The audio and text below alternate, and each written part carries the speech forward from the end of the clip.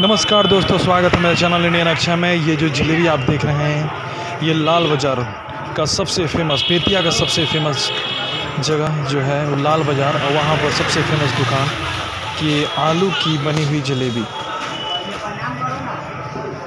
ये जलेबी यहाँ की सबसे खासियत है। कभी अगर आपको बेतिया आना होता है तो कभी कितना कभी एक बार ये जलेबी चख के ज़रूर देखें। बहुत ही तो स्वादिष्ट होता है ये जलेबी। तो